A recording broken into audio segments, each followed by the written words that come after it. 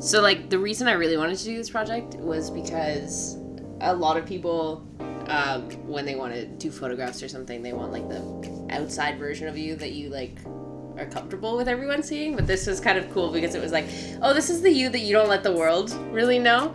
Um, and like I've never experienced something like that. Chachki is also that is my cat talking.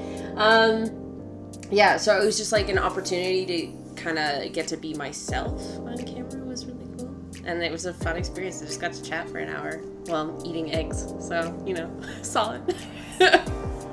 my name's Kaitlyn Alexander.